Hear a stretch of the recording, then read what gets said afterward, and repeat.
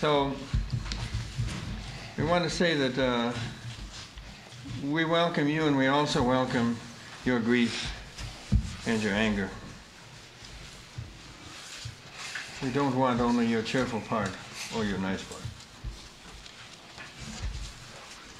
Behind grief and anger, inside grief and anger, there are many marvelous golden eggs. And also say that we know we're not here only for ourselves. We are here for young men for whom the world is becoming more dangerous every day. And we must not forget the grief of the young men, um, the young men in prison, the young men without fathers, without effective mothers. Nothing like this has ever happened in the history of the race, that there are so many young men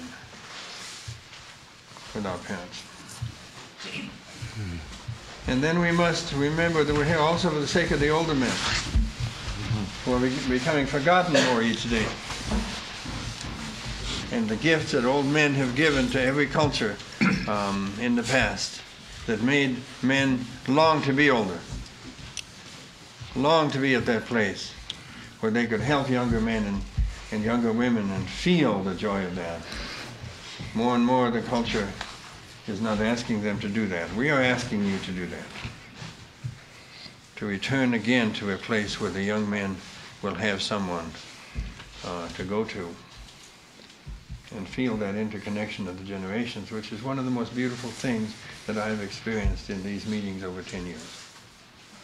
The beauty of having older men here and feeling the joy that the younger men feel in them. And then I, I must just say that for me, um, uh, I'm feeling uh, a lot of grief still uh, for William Stafford, who died um, about 10 days ago, I think. And uh, some of you remember that he loved to come to these. And um, he would give his poetry readings and say those wonderful things, which one of his lines, I'd rather slime along than be heroic.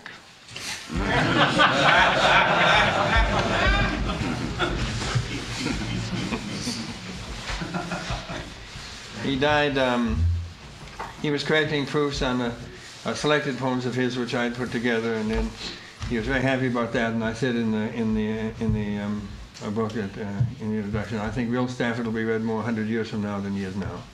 And Bill said apparently, I can't wait. and he went in, into his study and he wrote a poem which mentioned sirens and ended with his mother's voice saying, whatever God gives, take it. And then he um, left a note on the desk saying, all my love. So he knew what was coming. It's typical of his modesty that he knew he was going to die and didn't bother to tell anyone. didn't want to bother people. Then he walked into the kitchen to help his wife cook, and five minutes later he fell over with a massive heart attack and didn't say a word. So we're going to ask for his spirit to be here with us. And I thought of one of his stanzas. Uh, and so I, I call on that shadowy place, that imp- remote, important region in all who talk. Though we can fool each other, we should consider, lest the parade of our mutual life get lost in the dark. Though we can fool each other, we should consider, lest the parade of our mutual life get lost in the dark. And I'll, I just miss him a lot. He was an elder to me. He was sober and centered in a way that I'm not. I'm trying to learn from him. So Could we send a blessing to him? That he'll go off well. I only remember vaguely uh, a line in um, William Stafford poems that shook me the first time I heard it. When he said that uh, the darkness around us is deep. that the darkness around us is deep. I don't understand the details of that darkness. I can only feel it. Um, see, being an African caught up in the turmoil of this postmodern culture, well, I found myself uh, seeking day in and day out is truly a sense of home. Of course, uh, some people may say, well, but you have a village back there. Uh, why don't you stay there? My own elders have reiterated over and over each time I go home.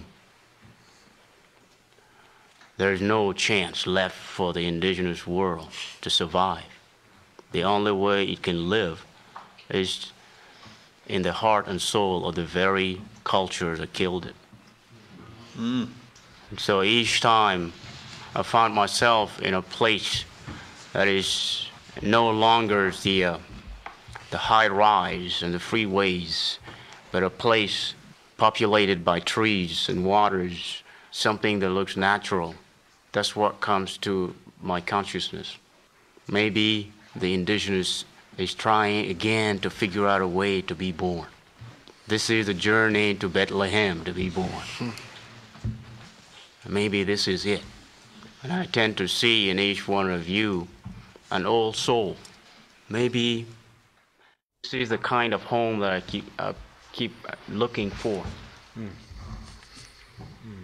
If it comes in the form of a true community, reason out of that desire to merge once again with nature and uh, to come into a state of reconciliation with ourselves so that finally our souls can sing the way Etheridge Knight says it. Mm-hmm. I think the home that perhaps I'm not yet the only one seeking, the home that perhaps we're all seeking is going to be found. Because for some reason I keep seeing in each one of you an exile Mm. Someone who has been betrayed mm. profoundly. And the gathering of people who are betrayed can yield tremendous healing, tremendous energy. And so hopefully, my ambition is that this become the gifts that we offer to one another as we come here whether it means that this happened through opening our heart to one another or just our heart to ourselves. Meaning that for a while we step off, step away from the brain and allow the heart and the soul to sing and think. Maybe that's that's the way it's going to happen. But at least uh, I feel that uh, coming here it's like going back to the village. Hmm. It may be ironic that outside of the village is a very sophisticated world asleep. But at least uh, the noise we're going to make here will be the noise of the ancestors mm. ringing the bell, yes. the wake up, the wake up bell. Yes. And if we could hold that maybe the spirit we're called in to this evening can probably join. And that's perhaps one of the greatest things we can do to us, to the nature that surrounds us, and perhaps to the world we're going to have to return to at the end of this week. See?